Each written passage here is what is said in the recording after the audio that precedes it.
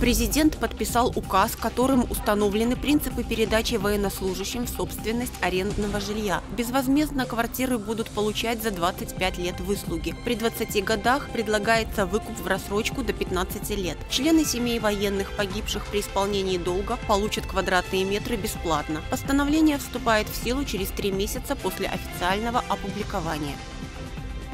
Адвокаты бесплатно проконсультируют воинов-интернационалистов и военнослужащих. Акция пройдет 15 февраля в первой половине дня во всех территориальных коллегиях. Можно будет получить юридическую консультацию в области трудового, гражданского, семейного, жилищного и другого права по вопросам, которые не связаны с предпринимательской деятельностью и не требуют ознакомления с документами.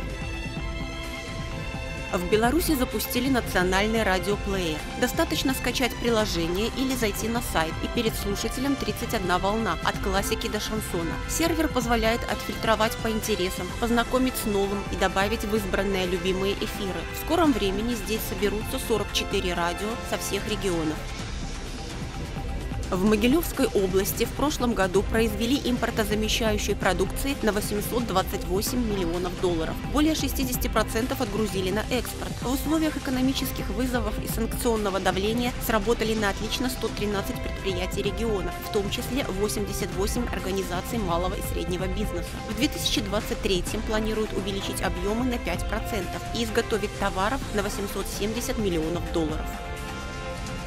На вторник объявлен оранжевый уровень опасности. МЧС призывает к предельной осторожности. По прогнозам синоптиков ожидается сильный северо-западный ветер порывами до 20 метров в секунду. На дорогах гололедица. По востоку страны кратковременные осадки, в основном в виде мокрого снега. Температура воздуха днем от 0 до плюс 6.